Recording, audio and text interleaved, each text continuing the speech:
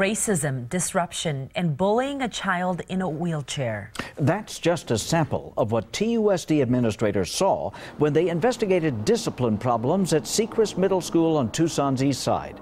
KGUN 9 on your side's Craig Smith has more on the problems and what administrators plan to do about them. Fight and they'll be at school the next Lily Woods sees a lot as a student at Secrist. I've seen people like they throw milk cartons or orange juice in the mornings at group of people standing around. TUSD administrators saw so many discipline reports at Secrist, they sent in a special task force. Kids acted up right in front of them. Administrators say they saw a student push a child in a wheelchair off the sidewalk. They saw students say things like, You orangutan looking bee, I can't wait to be homies in prison and find little white boys to make my B and rape their little white A. A student said, quote, If you look at me again, I'm going to kill you. Then used a crutch to pretend to shoot up the room. To teachers, students yelled, F you, flipped teachers the finger, and walked out of class.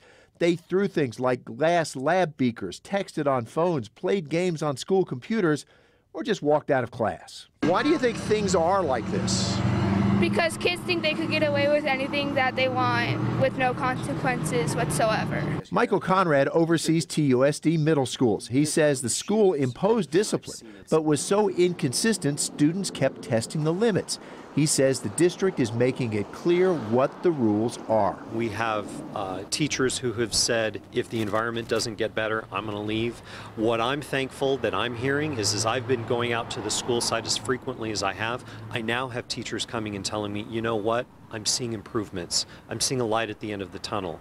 And Conrad says teachers are getting more training on how to keep Secrist a disciplined place to learn. Craig Smith, KGUN 9, Riverside.